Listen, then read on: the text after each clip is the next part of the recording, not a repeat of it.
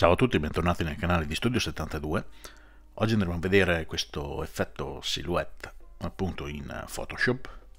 Prima di tutto però vi ricordo di iscrivervi al canale qualora non l'abbiate già fatto ed ora noi passiamo al nostro tutorial. Io ho aperto questa foto di questa ragazza su questo tronco, praticamente quello che andremo a fare è rendere nera l'immagine della ragazza per poi andarla ad applicare su questo sfondo.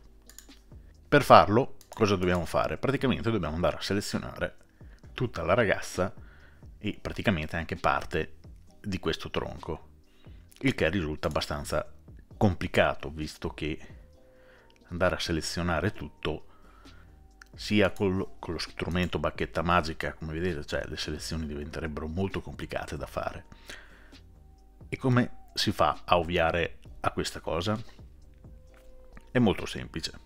Adesso vi spiego appunto come procedere. Innanzitutto andiamo a duplicare, quindi Command J sulla tastiera, andiamo a duplicare il nostro livello di sfondo, questo lo deselezioniamo, poi andiamo su nuovo riempimento e andiamo a fare tinta unita. La facciamo bianca, ok, e andiamo a portare al di sotto del livello 1, ossia il livello della nostra fotografia. Dopodiché andiamo a cliccare due volte sul livello della foto, come vedete ci apre stile di livello e in opzioni di fusione andiamo a spostare il cursore del bianco su questo livello, appunto andremo ad agire sul livello della foto, quindi su questo livello, non su quello sottostante, perché se andremo su quello sottostante praticamente userebbe quello di riempimento. Quindi stiamo su questo livello e come vedete se andiamo ad abbassare i nostri bianchi andiamo a eliminare praticamente gran parte dello sfondo. L'unica cosa dobbiamo stare attenti ad non andare a ritagliare troppo il nostro sfondo quindi ci portiamo io direi più o meno in questa posizione Dopodiché teniamo premuto Alt sulla tastiera, facciamo clic su questo marcatore, come vedete ce lo divide e qui possiamo andare a interagire meglio sui valori massimi e i valori minimi del bianco. Fino a raggiungere bene o male insomma, lo sfondo più omogeneo possibile in modo da andare a creare la nostra selezione in modo più semplice. Io direi che in questo modo va bene, come vedete non va a intaccare troppo la sagoma, la silhouette della ragazza, le piante comunque bene o male ci rende, ci lascia i rami, le foglie, come vedete il muschio qui, quindi una volta settato bene i parametri facciamo ok e se noi adesso andiamo a togliere il livello di sfondo come vedete già gran parte della selezione è stata fatta ora se noi andassimo però a fare command sulla tastiera per andare a fare la selezione no? teniamo premuto command e selezioniamo il nostro livello lui ce lo seleziona tutto questo perché? perché dobbiamo rendere questo livello in un oggetto avanzato quindi tasto destro del mouse sul livello 1, facciamo converti in oggetto avanzato e se noi adesso andiamo a fare command sul livello, come vedete, lui ci crea la nostra selezione. In questo modo. Dopodiché non ci basta altro che tornare su nuovo livello di riempimento, tinta unita, in questo caso nera va bene, facciamo ok e come vedete già la nostra immagine inizia a prendere forma. Se noi andiamo a tirare via, vedete, lo sfondo bianco, già abbiamo ottenuto un buon risultato. Ora però dobbiamo andare a eliminare, come vedete, queste parti che sono rimaste grigie. Come facciamo? Innanzitutto ci portiamo sul livello della maschera che ci ha creato. Prendiamo il nostro pennello e come sapete col nero toglie e col bianco aggiunge Il problema è che se io adesso col nero seleziono nero perché devo andare a togliere vado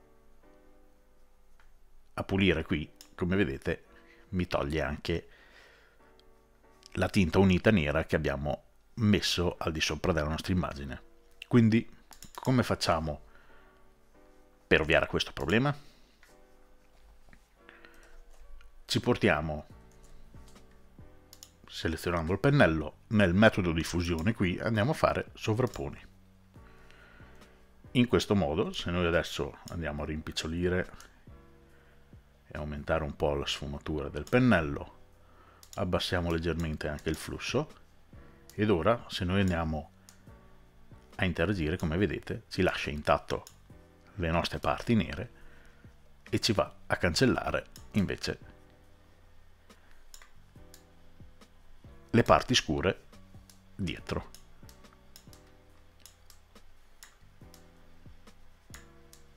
Quindi andiamo a fare questa operazione in tutto il contorno della nostra ragazza. Dopo, una volta che abbiamo fatto il contorno, possiamo tranquillamente usare il pennello normale. Comunque per adesso facciamo questa operazione. Vedete anche qui dai rami andiamo a togliere le parti in eccesso. In questo modo. Ora io vado anche a ritagliare la mia immagine intanto la parte che mi interessa è questa qui. Quindi io voglio tenere questa parte dell'immagine quindi è inutile che vada a operare sul resto. Anche sopra posso tagliare tranquillamente in questo modo quindi continuiamo col nostro pennello sempre sulla nostra maschera e andiamo a togliere tutte le parti vicino alle immagini ah, cioè all'immagine della silhouette che siamo andati a creare. In questo modo una volta fatti i contorni possiamo tornare su metodo di fusione normale e andare a togliere le parti in eccesso in questo modo. Dopo comunque andremo a fare un'altra operazione per andare a interagire e togliere ulteriormente parte dello sfondo. Stessa cosa per i neri. Per la parte nera, sempre sulla maschera, adesso vado a diminuire il mio pennello. Facciamo X, quindi selezioniamo il, il bianco perché dobbiamo andare ad aggiungere, però se io adesso vado ad aggiungere, vedete, rischio di andare a fare co questa cosa. Quindi stessa cosa di prima, andiamo, livello di fusione, sovrapponi e andiamo a interagire sul nostro livello in questo modo.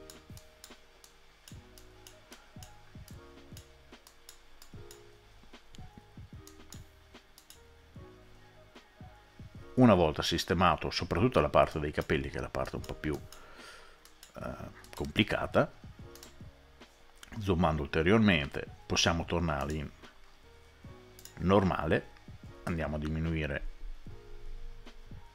di molto il nostro pennello e andiamo comunque a rifinire le parti che non già selezionato perfettamente in questo modo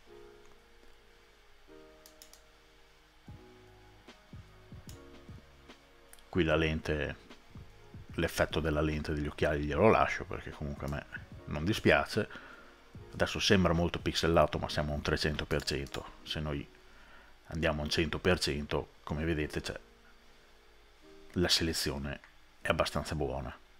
Ovvio che non, non si ottengono risultati esorbitanti come una selezione fatta su uno sfondo uniforme però Già così siamo andati ad ottenere un ottimo risultato.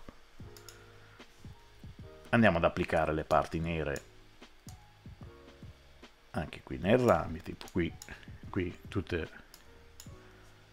quelle parti bianche che sono rimaste. Io torno in sovrapponi, vado ad eliminare ho sbagliato, seleziono il bianco e vado ad eliminare un po' qui queste zone. Bene, e una volta ottenuto questo risultato possiamo tornare sul livello 1, quello appunto della nostra immagine. Già, questo vedete è il nostro sfondo. Facciamo di nuovo doppio clic, torniamo sempre interagire su questo livello, se noi adesso andiamo ad abbassare ulteriormente i nostri bianchi, come vedete andiamo a pulire ulteriormente la parte del cielo che era rimasta con questi aloni. Quindi andiamo ad abbassare i bianchi, facciamo Alt per andare a dividere il marcatore in modo da andare a interagire meglio io direi che in questo modo vada bene. Ora il resto torniamo sulla maschera possiamo andarlo a eliminare tranquillamente a mano. Quindi torniamo su normale e andiamo a togliere le parti in eccesso. Qua mi è scappato il mouse in questo modo